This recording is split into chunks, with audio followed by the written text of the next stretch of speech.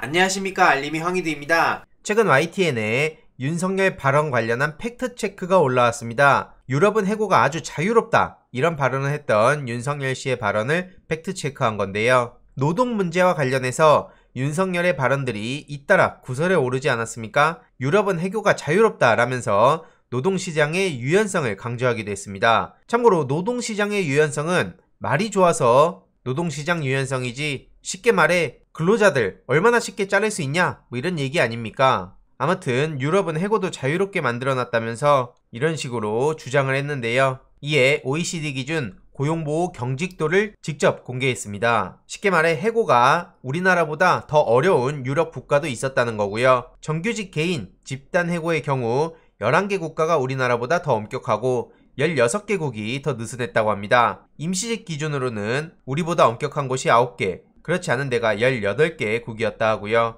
이를 보더라도 유럽 전체를 해고가 자유롭다고 묻기엔 무리가 있다는 겁니다. 다만 스웨덴, 독일 등 유럽 4개국은 경직도가 우리나라보다 낮다고 하는데요. 하지만 중요한 건 노사 관계나 사회보장 체계가 각각 다 다르지 않습니까? 그래서 국가 간의 단순 비교는 어렵다는 지적도 나올 수밖에 없는 겁니다. 해당 소식이 전해지며 많은 시민들은 윤석열은 1900년대 후반 한국인의 인식에 머물러 있는 사람이다. 구시대적이고 권위적이고 안 좋은 건 다 가지고 있다. 어쩜 이렇게 기본 상식도 없는 사람이 야권 대선 후보 1위인지 모르겠다. 검사 시절 칼잡이 노릇만 했으니 대통령으로서 외교, 안보, 국방, 부동산 등등 뭘 알겠냐 이런 지적이 이어지고 있는 거고요. 이런 사람이 대통령 되면 노동자 보호는 물 건너간 거 아니냐? 이건 다름의 시각이 아니다. 이런 지적까지 이어지고 있습니다. 특히 해고는 자유롭고 비정규직은 좋다고 권장하고 노동은 120시간이나 하라고 하는 윤석열 씨 이런 사람이 대통령이 된다면 정말 끔찍할 거라는 반응도 많이 이어질 수밖에 없는 건데요. 실제로 이렇게 이런저런 계산을 혼자 하더니 주 120시간 타령해서 엄청나게 많은 비판을 받지 않았습니까? 도대체 무슨 생각으로 대통령 후보에 나왔는지 도무지 납득이 안 가고요.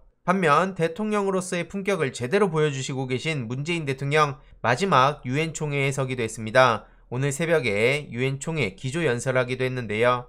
핵심은 남북 미중이 모여서 종전선언을 하자는 메시지를 전했다는 거죠. 남북 간, 북미 간 대화를 조속히 재개하자고 촉구하며 종전선언이야말로 한반도에서 화해와 협력의 새로운 질서를 만드는 중요한 출발점이 될 것이라고 강조했습니다. 특히 올해는 남북한이 유엔에 동시 가입한 지 30년이 되는 뜻깊은 해라고 강조하셨고요. 남북한과 주변국들이 함께 협력할 때 한반도의 평화를 확고하게 정착시키고 동북아 전체 번영에 기여하게 될 것이라며 그건 훗날 협력으로 평화를 이룬 한반도 모델이라고 불리게 될 것이다 라고 덧붙였습니다. 문재인 정부는 한반도 평화 프로세스를 꾸준히 추진해왔고 국제사회 지지 속에서 남북 정상회담을 통한 판문점 선언, 9.19 평양 공동선언과 군사합의, 북미 정상회담을 통한 싱가포르 선언이란 역사적 성과를 이뤄내기도 했고요. 북한에는 지구 공동체 시대에 대해서 강조하기도 했습니다. 이미 고령인 이상 가족들의 염원을 헤아려 남북 이상 가족 상봉이 하루빨리 추진돼야 된다는 입장도 밝히셨고요.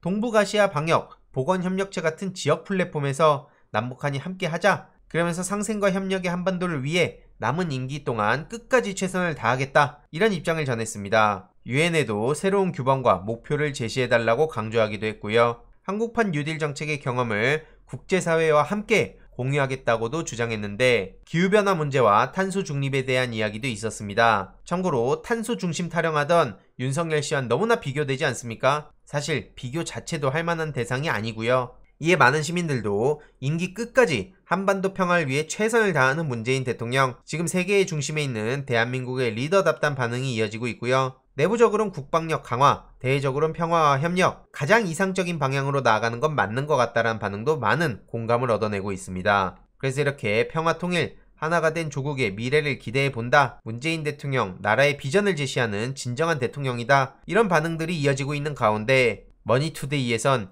임기 8개월도 안 남았는데 종전선언 다시 꺼낸 문재인 대통령 이런 식으로 굉장히 부정적으로 보도를 하는 것 같습니다. 임기가 8개월도 안 남았으니까 뭐 그럼 가만히 있으라는 겁니까? 아무것도 안 하면 아무것도 안 한다. 뭐 지지율 관리한다. 이런 식으로 비아냥대고 대통령이 숨어서 보이지도 않는다. 또 이런 식으로 비난할 거 아닙니까? 많은 시민들은 8개월이 아니라 임기 한 달이 남아도 남북 평화에 대한 대통령의 노력은 계속돼야 되는 거 아니냐? 그럼 남은 8개월간 노냐? 8초가 남았어도 해야 된다. 이런 따끔한 지적까지 이어지고 있습니다. 뭘 하든 문재인 대통령에 대해선 우호적이지 않은 언론들 누구처럼 형광등 100개, 패션 외교 이런 식으로 띄워주는 걸 바라진 않더라도 최소한 잘한 건 잘했다고라도 보도를 해줬으면 좋겠습니다. 아무튼 추가적인 내용들 계속해서 전해드리도록 하겠습니다.